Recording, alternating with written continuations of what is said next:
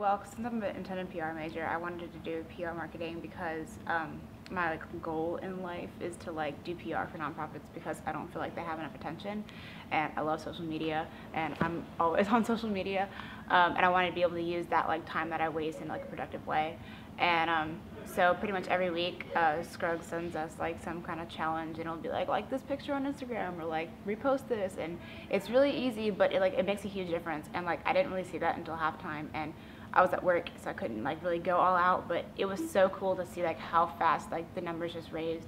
and so I guess like uh, social media is our biggest thing, and then I write, um, I help write the blogs for like the um, weekly events, Mhm. and that's that's a lot like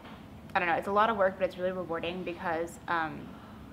I don't know. It's just like it's nice to see like everything that we've done that week that like I didn't really like think to be a big deal because it's just something I'm doing in here. I was like come to fruition and see like the impact that it had like looking back, Mhm. and um, I think it's a really good use of like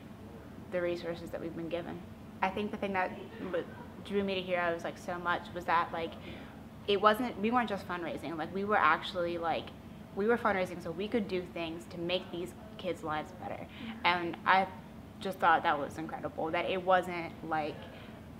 a third party like oh give me money and we'll give it to somebody else. It was like give me money so we can do this to do this awesome thing. My ol was um, on heroes and so but it wasn't like for her i could tell that it wasn't just like these people that you like raise money with. It was like you got together and you helped change lives. And um, i feel like when you like do like service like with other people that you really like have a bond that you don't really have with anybody else and so i think like doing things like hosting the kid events and like the olympics and like stuff like that that's like a team effort i i just can't see that in anywhere else other than heroes and um,